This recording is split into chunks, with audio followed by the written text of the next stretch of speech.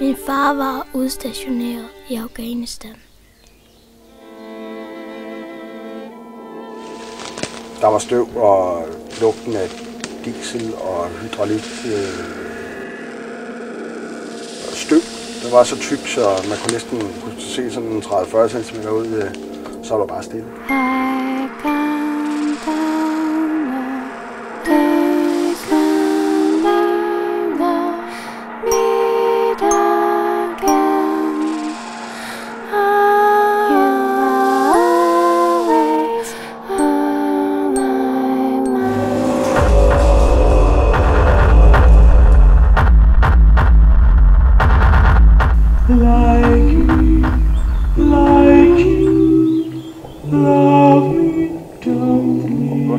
Day 5 in PB Clifton.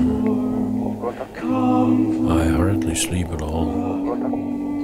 Just a little sound and I wake up.